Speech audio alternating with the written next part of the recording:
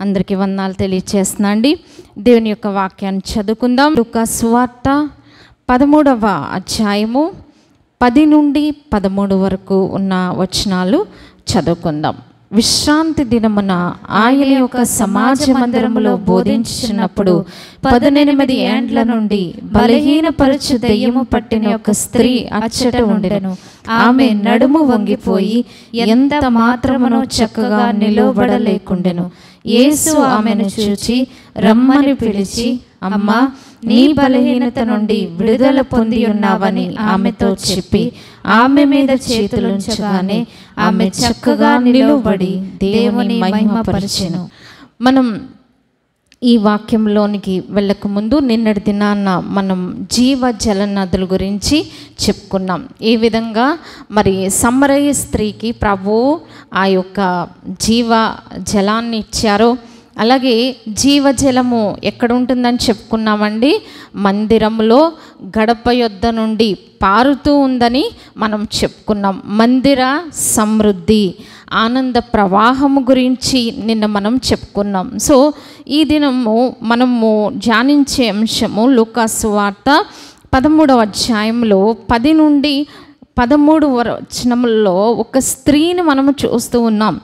ఆమె విశ్రాంతి దినమును ఏం చేసిందండి? సమాజ మందిరంలోనికి వచ్చినట్లుగా మనము చూస్తూ ఉన్నాం. అంటే దేవుని మందిరములో ఉన్న ఆ యొక్క సమృద్ధి ఏ విధంగా ఆమె అనుభవించిందో మనము చూస్తున్నామండి. సో ఆమె ఏం జరిగిందో ఒకసారి మనము చూద్దాం.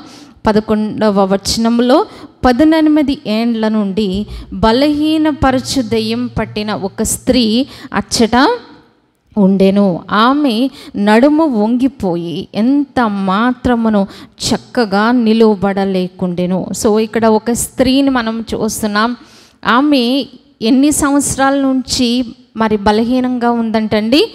పద్దెనిమిది సంవత్సరముల నుంచి కూడా. ఎలాంటి బలహీనత అంటే ఒక ఏం జరిగిందండి? నడుము వంగిపోయి ఎంత మాత్రము కూడా చక్కగా నిలువబడలేకపోయాను. సో ఇంగ్లీష్ బైబిల్ ఇంకా క్లియర్గా ఉందన్నమాట. అంటే ఆమె ఎంతసేపు కిందే చూడగలదు కానీ అట్లీస్ట్ తల పైకెత్తి చూడలేని పరిస్థితి. సో ఇంకా ఆమెకి ఏం పట్టిందట? బలహీనపరచు దెయ్యం అని ఉందండి. కింద మనం చూసినట్లయితే రెండని వేసి ఏముందండి? ఆత్మ. సో ఆమెకు ఒక దెయ్యం పట్టిందనమాట ఆ దెయ్యము ఎలాంటి దెయ్యం అండి బలహీనపరిచే దెయ్యం. సో అది పట్టినప్పుడు ఆమె వచ్చింది పన్నెండవ వచనంలో ఏం జరిగిందండి?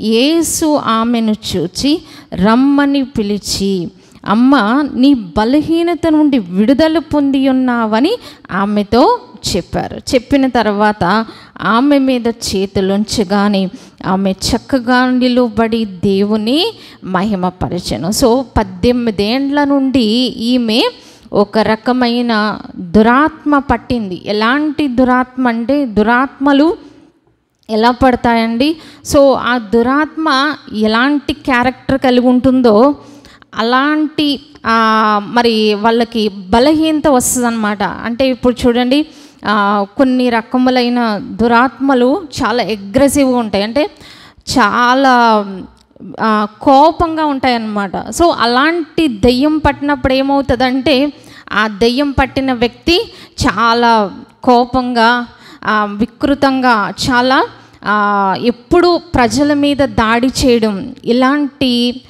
పరిస్థితి కలుగుతూ ఉంటుంది. అలాగే ఒక రోగము కలుగు చేస్తూ ఉంటుంది. దురాత్మ బలహీనతలను బట్టే కాదండి.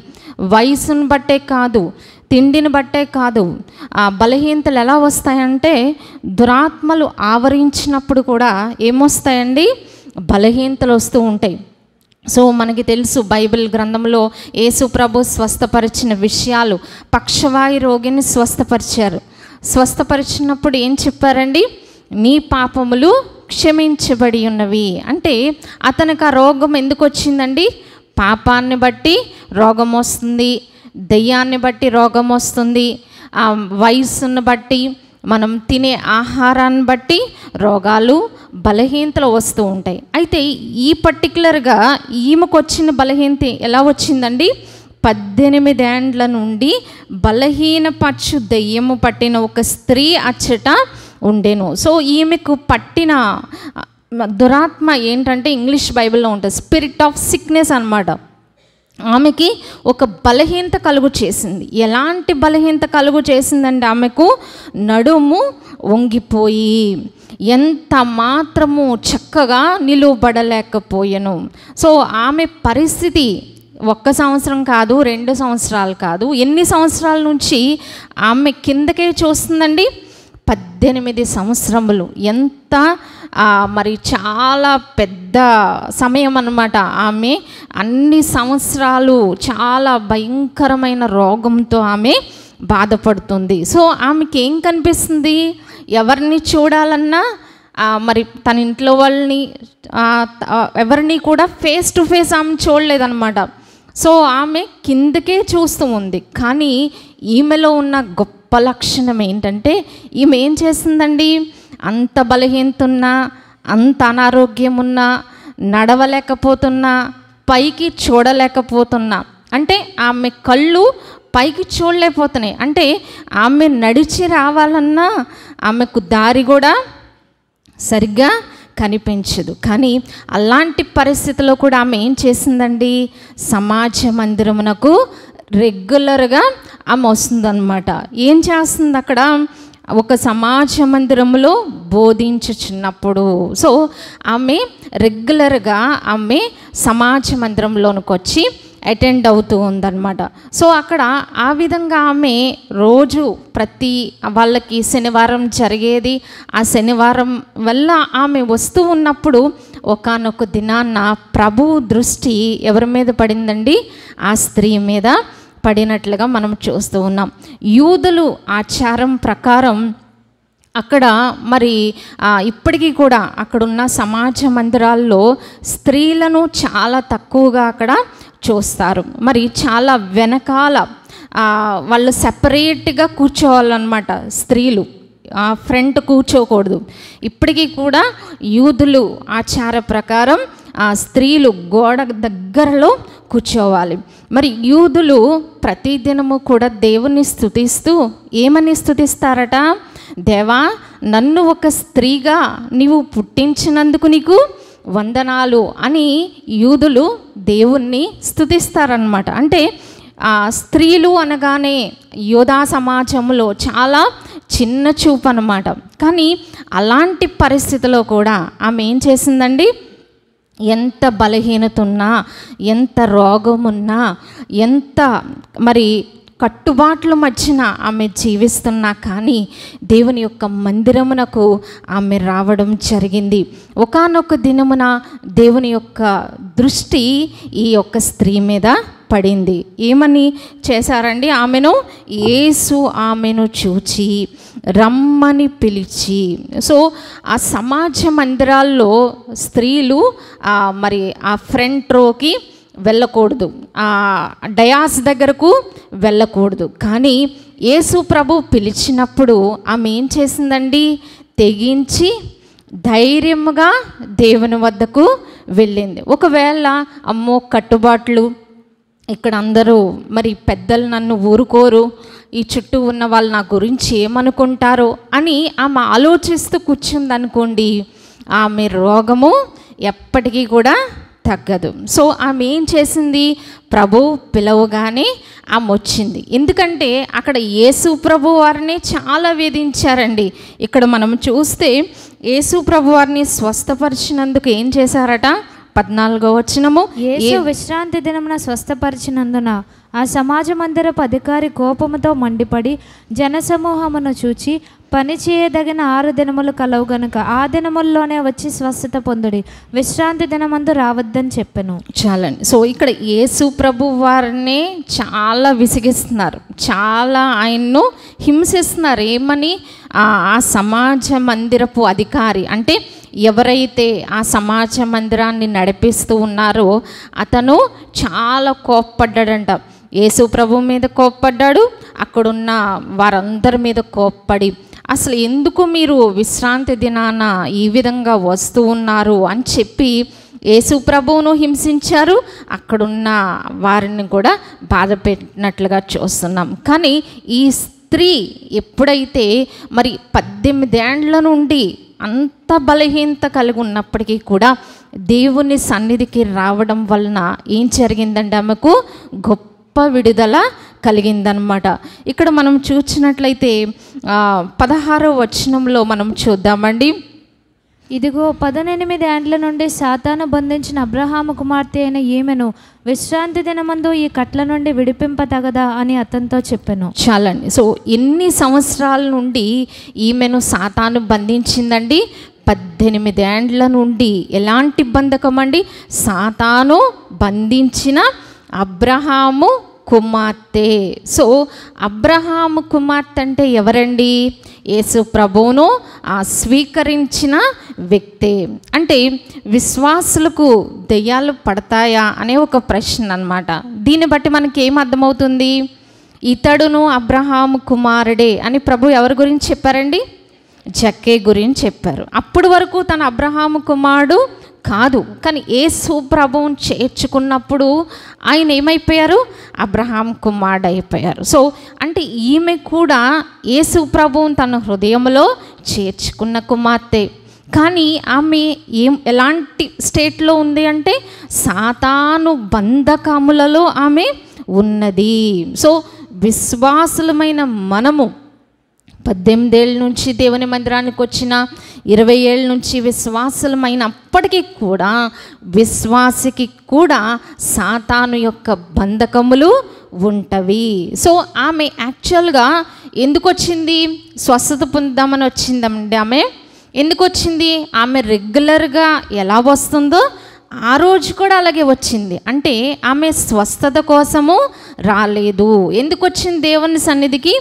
దేవుణ్ణి ఆరాధించటకం వచ్చింది. దేవుని మాటలు వినడానికి వచ్చింది. సో ఎప్పుడైతే ఆరాధిస్తూ దేవుని మాటలు వింటూ ఉందో అప్పుడు ప్రభువు ఆమెను పిలిచి స్వస్థపరిచారు. ఆమె ప్రభు దగ్గరకు వెళ్ళలేదు. కానీ ప్రభువే ఆమెను పిలిచి ఏం చేశారండి? ఆమెను ఆమెను ముట్టుకొని ఆమెను స్వస్థపరిచినట్లుగా మనం చూస్తూ ఉన్నాం. అలాగే మన జీవితాల్లో కూడా మనకు అనేకమైన బంధకాలు ఉంటాయి. సాతాను చాలా విషయాల్లో మనల్ని బంధించేస్తూ ఉంటాడనమాట ఈమె పరిస్థితి ఎంత దారుణంగా ఉందంటే పద్దెనిమిది ఏండ్ల నుండి కూడా తల పైకెత్తి చూడలేని పరిస్థితి. కానీ ఈనాడు మనకి చిన్ని బలహీనత వస్తే ఏం చేస్తామండి? మందిరం మానేస్తూ ఉంటాం. కానీ ఈమె మనకు ఒక గొప్ప ఆదర్శం అన్నమాట అంటే ఎన్ని బలహీనతలు ఉన్నా నడవలేని పరిస్థితి అయినప్పటికీ కూడా ఆమె దేవుని సన్నిధికి ఆసక్తితో రావడాన్ని బట్టి దేవుడు ఆమెను కనికరించారు. మనము కూడా చిన్ని చిన్ని సాకులను బట్టి దేవుని యొక్క సన్నిధికి మనం దూరం కాకూడదు. ఏదో రకంగా మనం వీలు చేసుకొని ఏదో రకముగా మనము ఆ మొదటి స్థానమును దేవునికి ఇవ్వడం వలన మన జీవితంలో ఎంతైనా మనం మేలు పొందగలం. ఈ స్త్రీ యొక్క జీవితంలో జరిగింది అదే. దేవుని సన్నిధిలో ఉండే ఆనందాన్ని అనుభవించాలని ఆమె అనుకుంది. సో దేవుని యొక్క మందిరంలో నిన్న మనం చెప్పుకున్నాం మందిరంలో ఏముందండి? సమృద్ధి ఉంది అంటే ఆత్మీయ స్వస్థత ఇస్తారు మానసికమైన స్వస్థత దేవుడేస్తారు శారీరక స్వస్థత దేవుడేస్తూ ఉంటారు. కాబట్టి మనం దేవుణ్ణి అడగకపోయినా ఏమండి ఈమె అడిగిందంటారా? ఈమె అడగలేదు. జస్ట్ ఆమె బోధ వింటూ ఉంది. సో మనము కూడా దేవుణ్ణి దేవుణ్ణి మనం అడగకపోయినా మనం ఏ బంధకముల్లో ఉన్నామో ప్రభువుకు తెలుసు కాబట్టి దేవుని యొక్క సన్నిధికి వస్తూ ఉన్నప్పుడు ఆ మందిర సమృద్ధిలో నుండి వచ్చే స్వస్థత దేవుడు మనకి దయచేస్తూ ఉంటారనమాట ఏ ఏరియాస్లో మనం బంధించబడి ఉన్నామో ఆ ఏరియాస్లో దేవుడు మనకి ఏం ప్రకటిస్తారండి? విడుదల ప్రకటిస్తారు. ఆమె మరి యేసు ప్రభు ఆ మాట చెప్పగానే ఆమె ఏం చేసిందండి? పద పది పదమూడవ వచనంలో ఆమె మీద చేతులుంచగానే ఆమె చక్కగా నిలవబడి దేవుని మహింపరచెను. సో మనం మనల్ని కూడా దేవుడు ఏం చేస్తారు? ఆయన ముట్టుకుంటా ఉంటారు. మనకి తెలియదు అనమాట దేవుని యొక్క మందిరంలోనికి వచ్చినప్పుడు ప్రభు మనకి ఆనంద ప్రవాహంలోనిది త్రాగించడమే కాదు. ఆయన ఏం చేస్తారండి? మనల్ను ఆయన స్పర్శ ద్వారా మనల్ను ముట్టుకొని మనకు స్వస్థత దయచేసేవారై ఉన్నారు. కాబట్టి మనకున్న బంధకాలు ఏమైనప్పటికీ కూడా మనకి రావడానికి చాలా ఆబ్లిగేషన్స్ ఉంటాయి. చాలా బంధకాలు ఉంటాయి. వ్యక్తిగత బంధకాలు ఉంటాయి కుటుంబ బంధకాలు ఉంటాయి సమాజంలో వచ్చే ఆ యొక్క మరి కొన్ని ఆటంకాలు ఉంటాయి. అయినప్పటికీ కూడా మనం ఏం చేయాలి? వాటి వైపు మనము చూడకుండా దేవుని వైపు చూస్తూ ఆయన్నే గురిగా పెట్టుకొని మనం వస్తూ ఉన్నట్లయితే దేవుని యొక్క సన్నిధిలో ఉండే ఆ స్వస్థత దేవుడు మనకి దయచేసేవారై ఉన్నారు. మనము ఏ బంధకాల్లో ఉన్నామో దాని నుండి విడిపించమని కూడా మనం దేవుణ్ణి అడగవలసిన వారంగా ఉన్నాం. దేవుని యొక్క వాక్యంలో ఒక మాట చదువుకుందామండి. కీర్తనలు నూట ఏడవ అధ్యాయము కీర్తనలు గ్రంథము. నూట ఏడవ అధ్యాయము. పద్నాలుగవ వచనం చదువుకుందామండి. నూట ఏడవ అధ్యాయము పేజ్ నెంబర్ ఐదు వందల పదండి. పద్నాలుగవ వచనము. వారి కట్లను తెంపివేసి చీకటిలో నుండి మరణాంధకారములో నుండి వారిని రప్పించెను. చాలండి. ఇక్కడ ఇస్రాయేలీల గురించి ఈ విషయాన్ని వ్రాస్తూ ఉన్నారు. దేవుడు ఏం చేశారండి? వారి కట్లను తెంచివేసి ఇంకేం చేశారండి? చీకటి మరణాంధకారములో నుండి వారిని రప్పించెను. మన జీవితాల్లో కూడా మనకి తెలియకుండానే కొన్ని కట్లతో మనం బంధించబడుతూ ఉంటాం. వాటన్నిటి నుండి అంతేకాదు మన జీవితంలో కొన్ని కొన్ని యాంగిల్స్లో ఏముంటుందండి?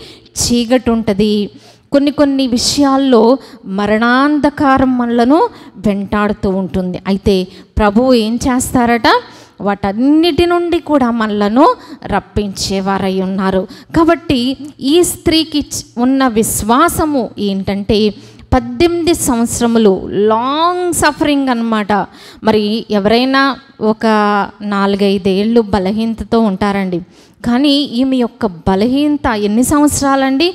పద్దెనిమిదేండ్ల నుంచి ఆమె పరిస్థితి ఎంత ఘోరం అంటే చాలా ఘోరం కదా?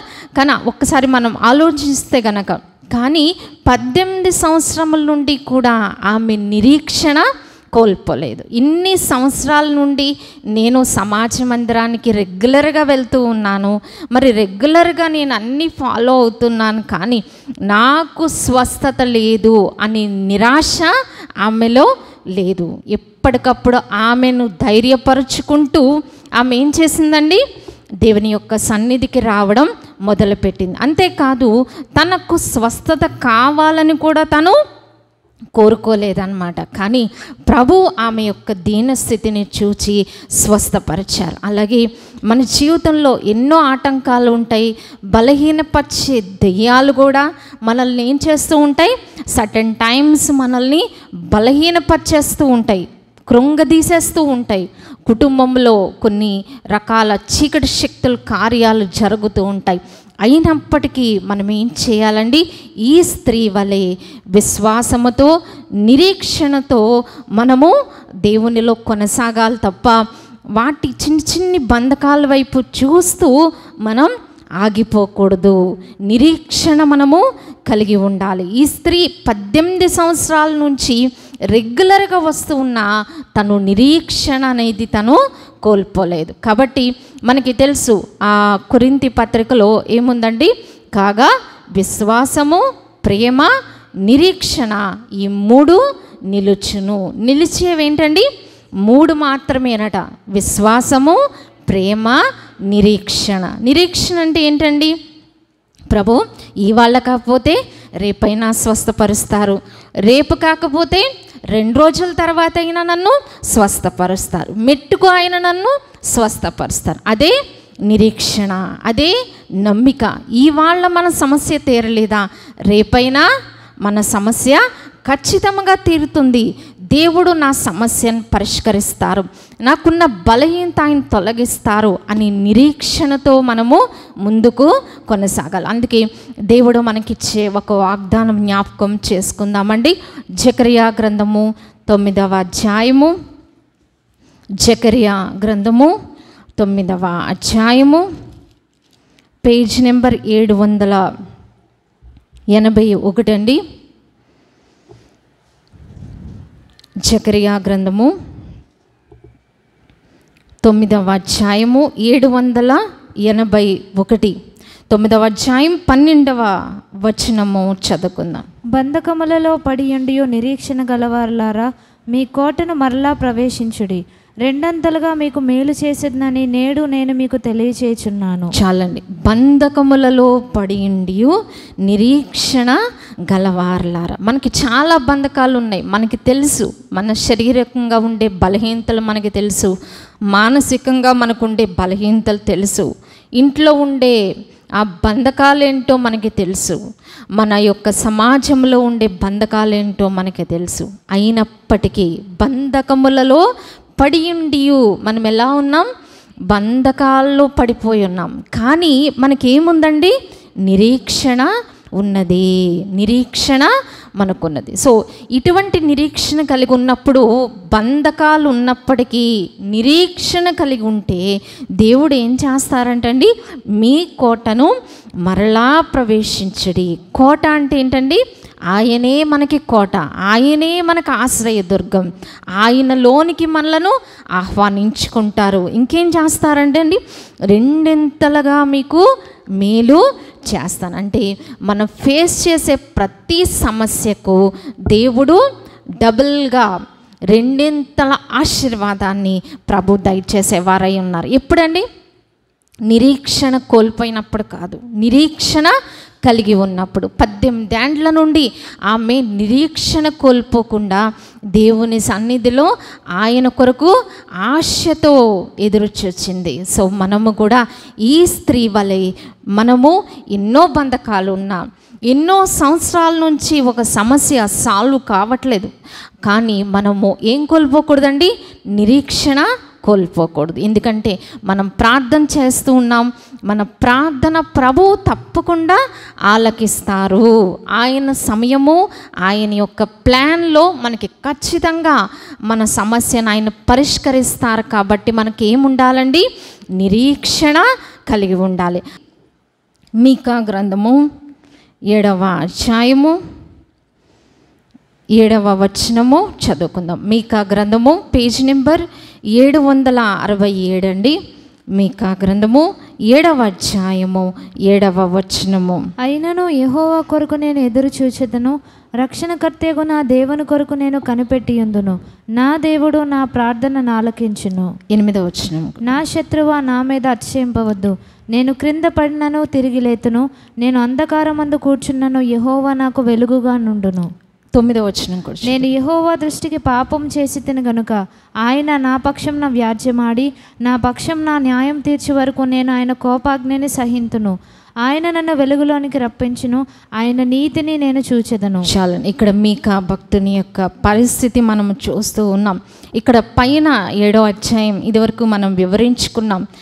మరి ఎవ్వరూ కూడా నమ్మదగిన వ్యక్తులు కనబడపోయేసరికి మీకా గారికి చాలా నిరాశ కలిగింది. ఎవరిని నమ్ముకోవాలి? ఏమండి ఇక్కడ పైన అంతా కూడా మనం చదువుకున్నట్లయితే ఇంటిలో ఇంటివారే విరోధులైపోతారు అని ఇక్కడ ప్ర మరి ఈ ప్రవక్త ద్వారా తెలియచేస్తూ ఉన్నారు. అయినా కానీ ఈయన ఏం చేస్తున్నారట? అయినను ఏహోవా కొరకు నేను ఎదురు చూస్తాను నా దేవుని కొరకు కనిపెట్టుకుంటాను. ఎందుకు అంటే నా దేవుడు నా ప్రార్థన ఆలకించును. సో మెనీ టైమ్స్ మనం దేవుని దగ్గర మొరపెట్టుకుంటూ ఉన్నాం. మన ప్రార్థన వ్యర్థం కాదు. నా దేవుడు నా ప్రార్థన ఆలకించును. ఇంకేమంటున్నారండి? నా శత్రువా నా మీద అతిశయింపవద్దు. మన మీదకి ఎంతోమంది శత్రువులు లేస్తూ ఉంటారు. అతిశయిస్తూ ఉంటారు ప్రగల్భాలు పలుకుతూ ఉంటారు. అయితే ఈయన ఏమంటున్నారండి ఈయన యొక్క నిరీక్షణ ఎలా ఉందంటే నా మీద అతిశయింపవద్దు. ఇంకేమంటున్నారండి? నేను క్రింద పడినను తిరిగి లేతును. సో కొన్ని కొన్నిసార్లు మన బలహీనత వల్ల మనం తొందరపాటు వలన కింద పడిపోయే పరిస్థితులు కూడా రావచ్చు. కానీ ఇక్కడ ఈయనకున్న నిరీక్షణ ఏంటంటే నేను అంధకారం అందు కూర్చున్నను ఎహోవా నాకు వెలుగుగా ఉండును. ఒక్కొక్కసారి మన లైఫ్లో ఏముంటుందండి? చుట్టూ అంధకారమే చీకటే. ఏ నిరీక్షణ కనబడదు. అలాంటి పరిస్థితిలో కూడా మనం ఎవరి ఎందు నిరీక్షణ ఉంచాలండి? ఆయన ఎందే నిరీక్షణ ఉంచాలి. ఎందుకంటే అంధకారంలో కూర్చున్న అంధకారంలో వెలుగుగా ఎవరు ఉంటారండి దేవుడే మనకు వెలుగు. సో మన చుట్టూ చీకటి ఉంది ఎటు చూచినా మనం హెల్ప్ లేదు. ఎటు చూచినా మనకి సహాయం లేదు. కానీ అయినప్పటికీ కూడా మన ప్రార్థన ప్రభు వింటున్నారో లేదో అనే క్వశ్చన్ మార్క్ కూడా వస్తుంది. అయినప్పటికీ కూడా మన నిరీక్షణ కోల్పోకూడదు. ఆయన వైపే మనము చూస్తూ ప్రభా నీవే నా నిరీక్షణ మీకా గారిలాగా మనం కూడా చెప్పాలన్నమాట. ఏమని? నా దేవుడు నా ప్రార్థన ఆలకించిన. మనం ప్రార్థన చేస్తూ ఉన్నాం మనం ఆయన్ని సహాయం కోరుతూ ఉన్నాం. తప్పకుండా ఆయన మన పరిస్థితులను ఖచ్చితంగా మార్చేవారై ఉన్నారు. ఇంకేం చెప్పాలండి? శత్రువుతో నా శత్రువా నా మీద అతిశయించవద్దు. చూడండి ఎంత ఆయనకు నమ్మిక ఎంత ధైర్యము. సో శత్రువులు ఏం చేస్తూ ఉంటారు? అనేక సార్లు మన మీదకి లేస్తూ ఉంటారు. అందుకే ప్రభు ఇంకొక వాగ్దానం ఏముందంటే నేను ప్రగల్భల ప్రవచనములను నిరర్ధకము చేయవాడు సో అనేక మంది లేచి మన మీద ఎన్నో ప్రగల్భాలు పలుకుతూ ఉంటారు. కానీ ప్రభు వాటిని ఏం చేస్తారట? జస్ట్ ఇలా రాంగ్ చేసేస్తారనమాట కొట్టిపడేస్తారనమాట అందుకని ప్రగల్భల ప్రవచనాలు ఏం చేస్తాడంట ఆయన? నిరర్ధకము చేస్తాడట. మరి హిస్కియా రాజు మీదకి ఆ రాజు ఏం చేశాడండి? చాలా ప్రగల్భాలు పలికాడు. చాలా నిన్ను అలా చేసేస్తాను నిన్ను ఇలా చేసేస్తాను నాకు ఎదురెవ్వరు అన్నాడు. కానీ ఆయన ప్రార్థన చేసినప్పుడు ప్రభువు తన ప్రవక్త ద్వారా ఒక మెసేజ్ ఒక మరి మాట పంపించారు. ఏంటది? నా మీద వేసే రంకెలు నేను విన్నాను. సో మనుషులుగా మన మీద అనేక మంది రంకెలు వేస్తూ ఉంటారు. కొంతమంది కనిపించి వేస్తారు కొంతమంది మనకు కనిపించకుండా రంకెలు వేస్తూ ఉంటారు. కానీ అవన్నీ ఎవరు వింటారండి? నా చెవుల చొచ్చెను. నీవు నా మీద చేసే రంకెలు. నీవు చేసే కలహము ఎక్కడికి వెళ్ళింది? నా చెవుల్లోకి చొచ్చింది. కాబట్టి ప్రభు ఏమంటున్నారంటే అక్కడ రాజుతో ఏమని చెప్పారు? నేను నీ నోటికి గాలము వేస్తాను. నా నీ- నాకున్న కళ్ళము నీకు వేసి నిన్ను వెనక్కి లాగుతాను. చూడండి ప్రభు ఎంత అభయం ఇచ్చారు హిస్కియా భయపడిపోయాడు. ఆ రాజు పలికిన మాటలు తన పగి పలికిన ప్రగల్భాలకు రాజు భయపడిపోయి ఏం చేశాడండి? మందిరంలోనికి వెళ్ళిపోయి ఏం చేశాడు? అతను ఒక లెటర్ రాసి పంపించాడట శత్రువు ఏం చేశాడండి? ఒక చీటీ మీద అన్ని రాసుకుని పంపిస్తే ఆ రాజుగారు ఏం చేశారు? భయమేసి ఆ యొక్క లెటర్ యాస్టీజ్గా పట్టుకెళ్ళి మందిరములో దేవుని సన్నిధిలో పరచి ఏం చేశాడంట? ప్రార్థన చేశాడు. ప్రభా ఇదిగో ఆ రాజు నా మీద ఇన్ని ప్రగల్భాలు పలుకుతున్నాడు. నువ్వు న్యాయము చేయనైనా అని ప్రార్థన చేసిన ప్రభు ఏం చేశారండి? వెంటనే ఆ యొక్క వర్తమానము ఆ యశ్యా ప్రవక్త ద్వారా ఇచ్చారు. నువ్వు వేసే రంకెలు నువ్వు చేసే కలహము నేను విన్నాను. సో ప్రభు మన మీద మనకి తెలియకుండా ఎంతమంది ఎన్ని ఏమి చేసినా అవన్నీ కూడా ఎవరు వింటారండి? ప్రభు ఖచ్చితంగా వింటారు. కానీ ఆయన పూనుకునే వరకు మనం ఏం చేయాలి? వెయిట్ చేయాలన్నమాట. మనంతట మనం ముందుకు వెళ్ళకూడదు కానీ ప్రభు ఆయన పూనుకునే వరకు మన పక్షంగా ఆయన కార్యం చేసే వరకు ఏం చేయాలి? మౌనంగా సహించుకోవాలి. ఇక్కడ అదే మీకా భక్తుడు చెప్తున్నారనమాట నేను క్రింద పడినను తిరిగి లేదును నేను అంధకారమందు కూర్చున్నను ఎహోవా నాకు వెలుగుగా ఉండును అంటూ ఏమంటున్నారని తొమ్మిదో వచనంలో నేను ఎహోవా దృష్టికి పాపము చేసి తిని గనుక ఆయన నా పక్షమున వ్యాజ్యమాడి నా పక్షమున న్యాయము తీర్చే వరకు నేను ఆయన కోపాగ్ని సహింతును. అంటే ప్రభువు పూనుకునే వరకు మనం ఏం చేయాలండి? సహించుకోవాలి ఓర్చుకోవాలి. అప్పుడు ఆయన ఏం చేస్తారు? ఆయన సమయం వచ్చినప్పుడు ఆయన ఏం చేస్తారండి? మన పక్షమున న్యాయము తీర్చేవారై ఉన్నారు. మనకున్న బంధకాల నుంచి అయినా బయటకు తీసుకొచ్చేవారై ఉన్నారు. ఈ పద్దెనిమిదేండ్ల నుండి ఈమె ఎంత బలహీనత ఫేస్ చేస్తున్నా కానీ నిరీక్షణ కోల్పోలేదు. మనము కూడా నిరీక్షణ కోల్పోకుండా ప్రభు వైపు మనము చూడాలి. ఆయన మన పక్షమున వ్యాజ్యం ఆడే వరకు ఏం చేయాలట? మనము సహించుకుంటూ నా దేవుడు నా ప్రార్థన ఆలకించును. తప్పకుండా మన ప్రార్థన ప్రభు వింటారు. కాబట్టి మనం ఈ స్త్రీ వలె విశ్వాసముతో నిరీక్షణతో ప్రభు కొరకు ఎదురు చూద్దాం. ప్రభు వట్టి కృపలు మనందరికీ దయచేయను గాక. ఆమెన్. పరిశుద్ధుడా విన్న మాటలు మాలో ఫలింప చేయమని ఏ సున్నామంన ప్రార్థించి వేడుకొంచున్నాం తండ్రి. ఆమెన్.